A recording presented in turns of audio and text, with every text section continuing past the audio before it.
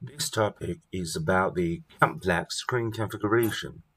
As is known to us, the screen in regular project just works at rectangle or square, but not every screen goes like that. Still, they have special shapes in some special project, just like a triangle, like a tree, like a door, like an arrow, or just uh, some letters. Regular screen is easy to do, so let's figure out the way of making special screen all things are the same at the very beginning. Go through the screen configuration tape and make sure the screen works properly. At least it should show the duplicate image on each and every cabinet. Right? We have to make sure the RCFGX file is proper. Then we move to the screen connection tape here, you could just say uh, the standard screen and complex screen, those two options. So for the special shape like a door or triangle, the standard screen is easily enough to do so. Let's see it.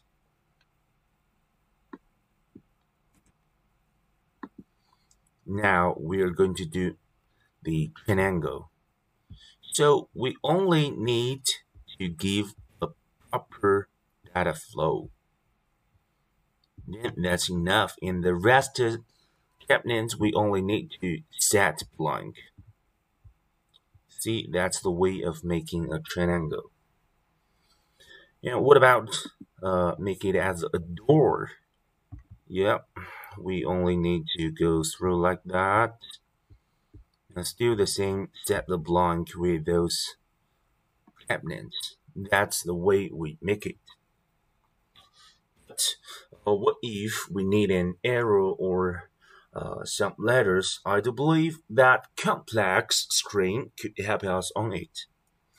We do need to confirm the sending card and the port information. Let's say uh, here got the add edit, delete, and clear.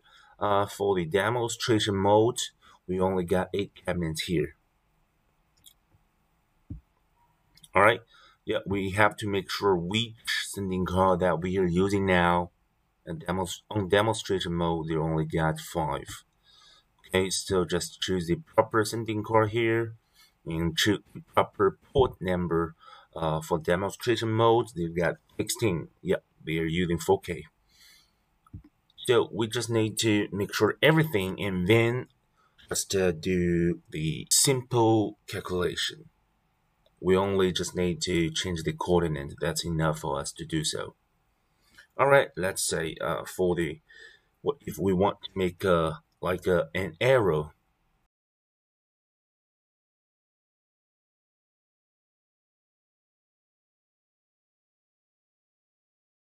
Yes, and then uh, move to the next receiving card. So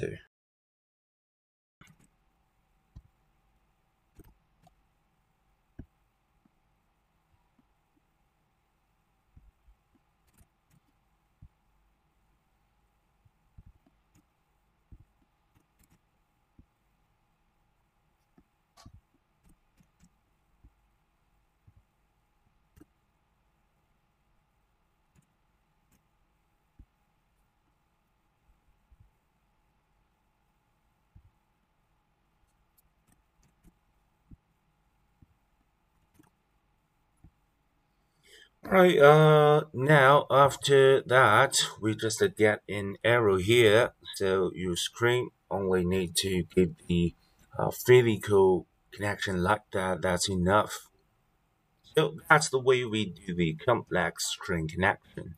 So that's re really uh, easy to do, but only we have to be care is we need to calculate the coordinate Alright, that's all the things about the complex screen configuration.